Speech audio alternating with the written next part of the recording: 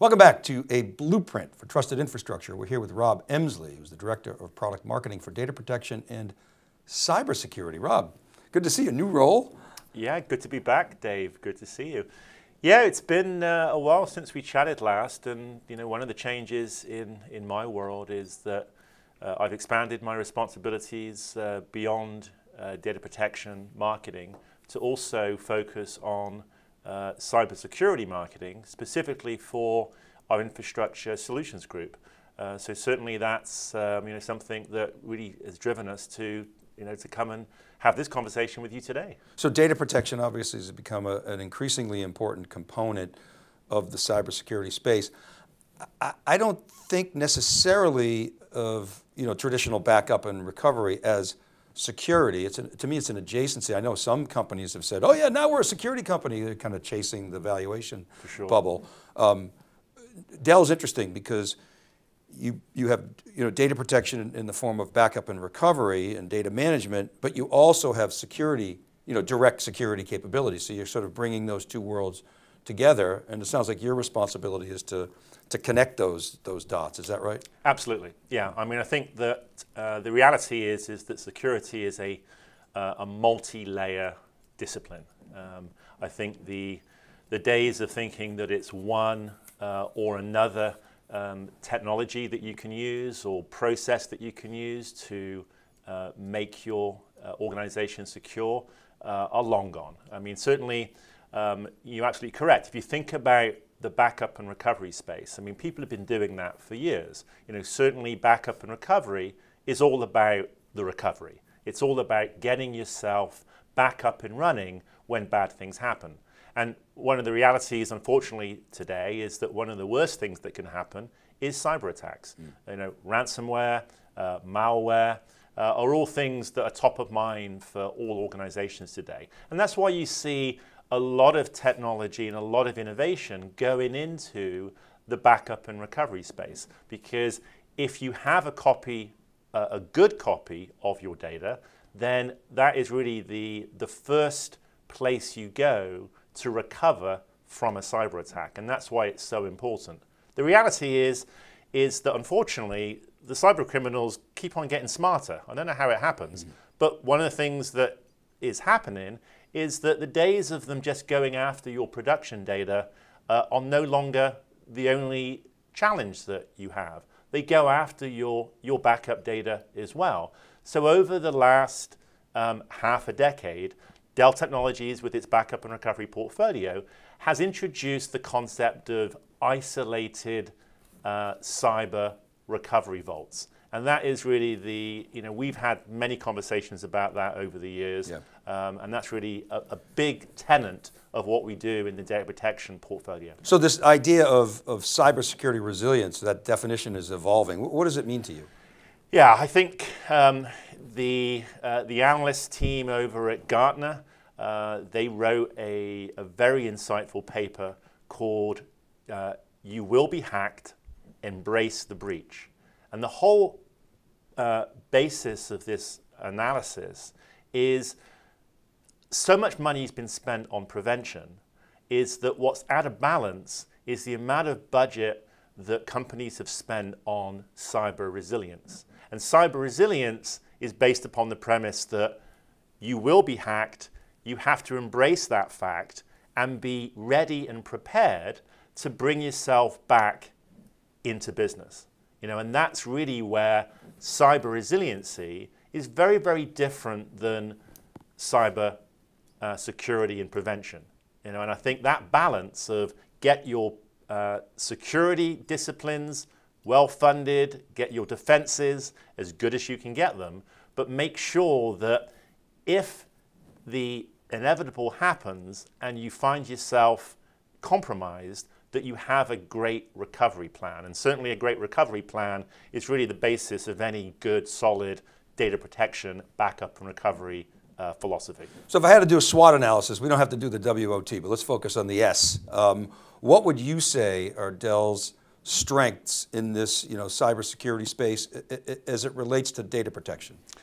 Um, one is we've been doing it a long time. You know, we talk a lot about uh, Dell's data protection being proven and modern. You know, certainly um, the experience that we've had over literally three decades of providing enterprise scale data protection solutions to our customers has really allowed us to have a lot of insight into what works and what doesn't.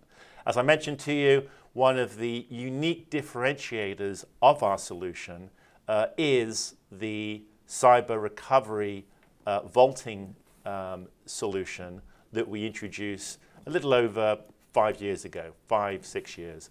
Um, PowerProtect Cyber Recovery uh, is something which has become a unique capability for customers to adopt uh, on top of their investment in Dell Technologies data protection. You know, the, the unique elements of our solution are really threefold, and it's, we call them the three I's. It's isolation, it's immutability, and it's intelligence. And the, the isolation part is really so important because you need to reduce the attack surface of your good known copies of data.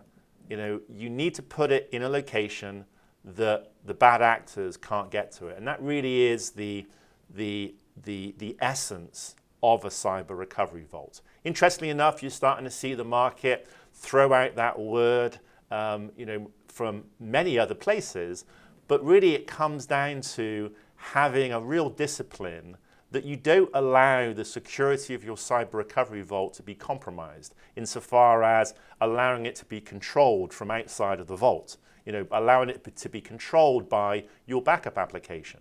Our cyber recovery vaulting technology is independent of the backup infrastructure.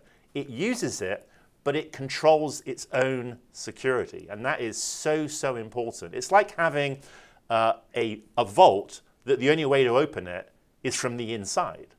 You know, and think about that if you think about, you know, vaults in banks or mm -hmm. vaults in your home. Normally, you have a keypad on the outside.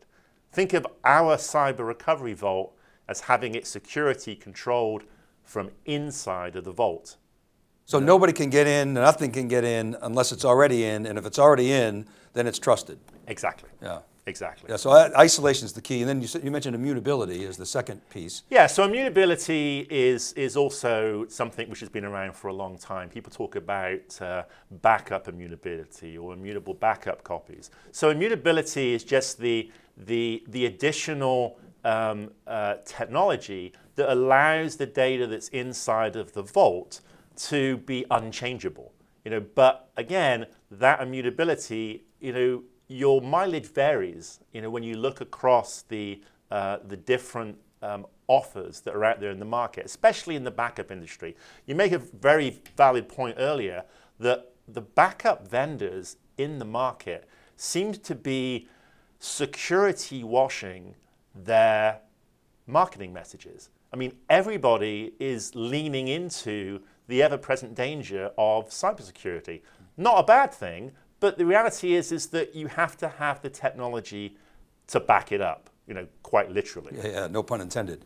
and then, actually pun intended. Now what about the intelligence piece of it? Uh, that's, that's AI, ML, where does that fit? For sure. So the intelligence piece is delivered by um, a uh, solution called CyberSense. And CyberSense for us is what really uh, gives you the confidence that what you have in your cyber recovery vault is a good, clean copy of data. So it's looking at the backup copies that get driven into the cyber vault, and it's looking for anomalies. So it's not looking for signatures of malware. You know, that's what your antivirus software does. That's what your endpoint protection software does. That's on the prevention side of the equation. But what we're looking for is we're looking to ensure that the data that you need when all hell breaks loose is good.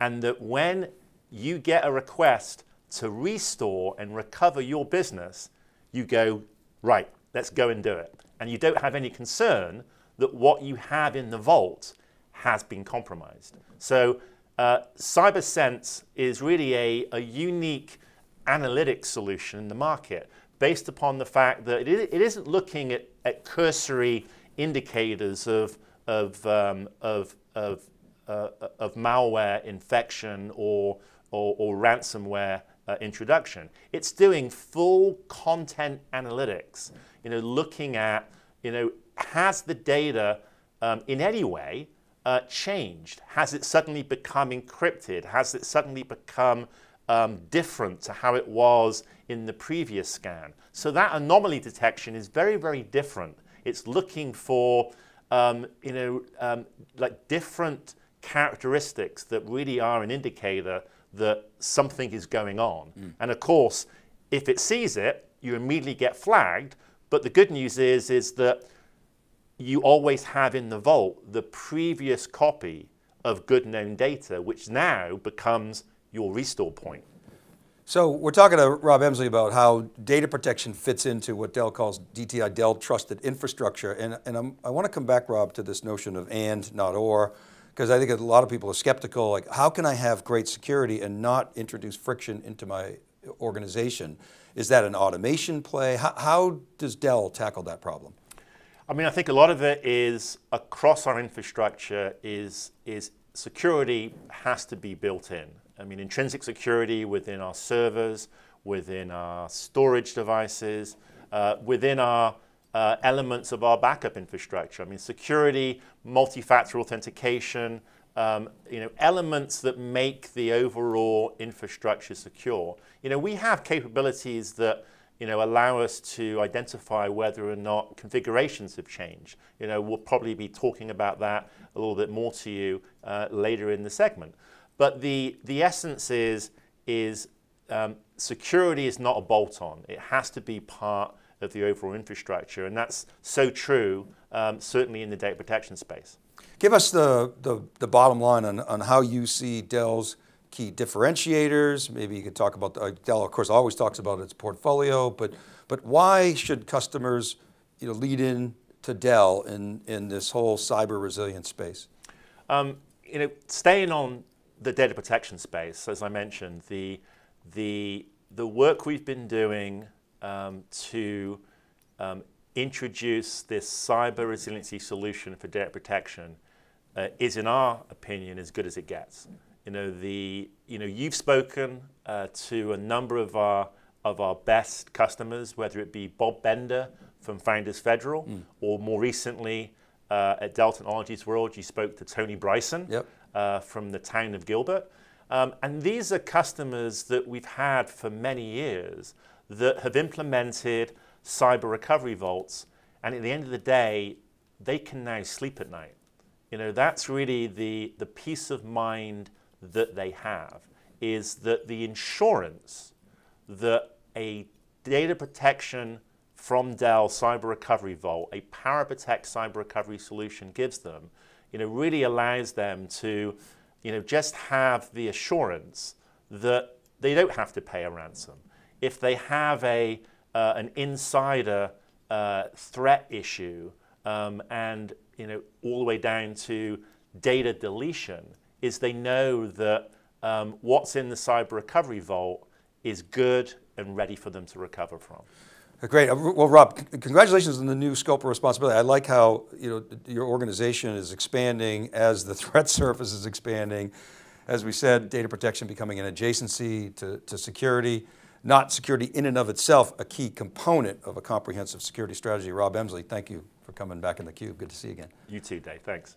All right, in a moment, I'll be back to wrap up a blueprint for trusted infrastructure. You're watching theCUBE.